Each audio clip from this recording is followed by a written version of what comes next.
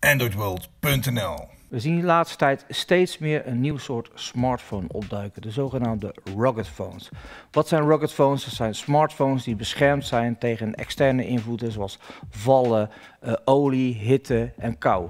We hebben de laatste tijd al een aantal van dat soort toestellen besproken, onder andere die van CAT.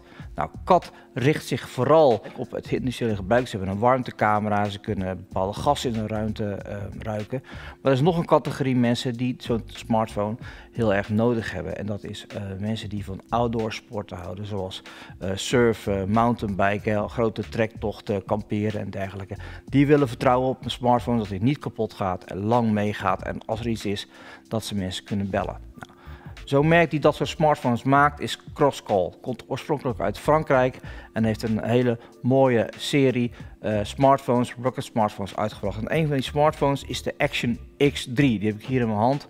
En zoals je kunt zien is dit een uh, toestel met een hele zware uh, casing aan de buitenkant. Het is, het is plastic en het kan heel goed tegen geweld van buitenaf. En dat heb je nodig als je aan het fietsen bent met je mountainbike en je slaat over de kop. Dan moet dat ding gewoon heel blijven. Nou, het scherm is natuurlijk uh, Gorilla Glass, is 5 inch groot. Aan de achterkant zitten 12 megapixel camera's voor de foto's. En een kleine camera aan de voorkant voor de selfies als je onder de modder zit.